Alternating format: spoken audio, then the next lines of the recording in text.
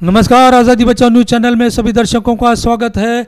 आज के समाचार, मुस्लिम समुदाय ने प्रदेश अध्यक्ष तथा आला कमान को स्पष्ट तौर पे कहा कि सोलापुर शहर में मुस्लिम समुदाय को आगामी, यानी अगले माह राज्यपाल द्वारा नियुक्त होने वाले 12 सदस्यों में सोलापुर शहर को भी एक अवसर प्रदान हो। महाराष्ट्र प्रदेश अल्पसंख्यक विभाग के जनरल सेक्रेटरी शकील मौलवी ने चार नाम का सुझाव दिया है। उसमें सबसे पहले नाम है इच्छुक उम्मीदवारों में आरिफ भाई शेख, जुबैर कुरैशी, मैनुद्दीन शेख और स्वयं शकील मौलवी भी का हितैषी रहा। वोट बैंक के तौर पर हमेशा से कांग्रेस ने अपना उपयोग किया है। उन्होंने स्पष्ट तौर पे कहा कि सोलापुर शहर के कांग्रेस के नेता सुशील कुमार शिंदे, सोनिया गांधी, राहुल गांधी, अहमद पटेल, गुलाम नबी आज़ाद से गुहार लगाई है कि इस बार मुस्लिम समुदाय को राज्यपाल द्वारा नियुक्त होने वाले सदस्य में सोलापुर शहर को एक अवसर मिले। देखिए आज़ादी बचाओ की एक रिपोर्ट। अभी ऐसे समाज का एक ज्वलंत विषय है कि सोलापुर शहर में अल्पसंख्यक समाज का, जितना मुस्लिम समाज को बहुत दिनों से गए पचास साल से कांग्रेस पार्टी के साथ आए।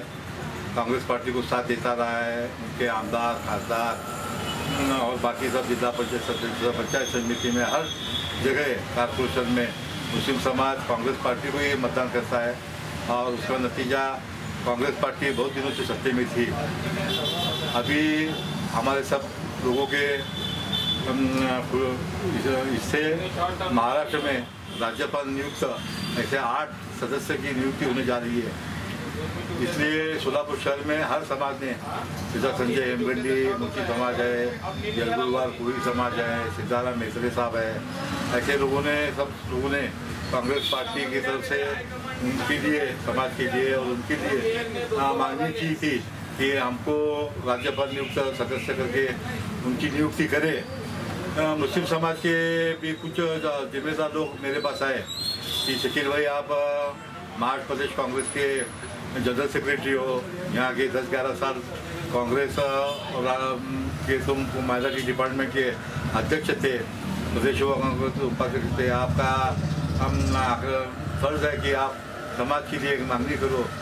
हम्म, तो मैंने बोला ठीक है भाई हम मांगनी करेंगे। इसलिए मैंने मेरे लेटर पैड पर हमारे राष्ट्रीय अध्यक्ष आदरणीय सोनिया जी गांधी, हमारे कांग्रेस के ज्येष्ठ नेता पक्षाध्यक्ष अहमद पटेल गुलाम नबी आज़ाद, जो राज्यसभा में हमारे विरोधी पक्ष नेता हैं, महाराष्ट्र कांग्रेस के अध्यक्ष हमारे बाला साहब थोरात और सोलापुर के सुपुत्र और माजी केंद्रीय मंत्री, गृह मंत्री सुशील कुमार शिंदे साहब इनके पास हमने अभी ईमेल से हमारे निवेदन भेजा है कि शोलापुर शहर के अंदर मुस्लिम समाज में आ, काम करने वाले हमारे माजी महापुर आदरणीय आरिफ भाई शेख शोलापुर में बहुत दिनों से मैं खुद कांग्रेस पार्टी का काम करता हूँ और प्रदेश का मैं सचिव हूँ।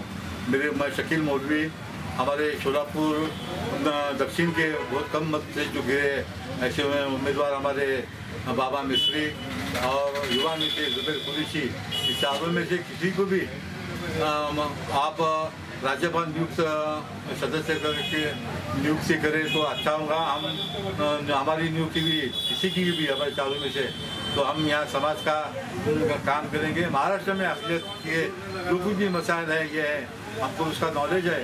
हम विधान परिषद के अंदर वो आवाज़ उठाएँगे और हमारे समाज को न्याय दिलाने की कोशिश करेंगे। तो मैं पक्ष सृष्टि से मुद्देबाना गुजारिश करता हूँ कि शोलापुर शहर में से, हमारे चारों में से किसी को भी आप विधान परिषद पर संधि दो और मुस्लिम समाज का जो आपको हमेशा जो साथ दिया है, उसके ऋण में से मुक्त होने की आप कोशिश करें, इसी में आज़ादी बचाओ न्यूज़ चैनल को सब्सक्राइब करने के लिए बेल आइकन पर क्लिक करना ना भूलें। साथ ही साथ लाइक करें और शेयर भी करें।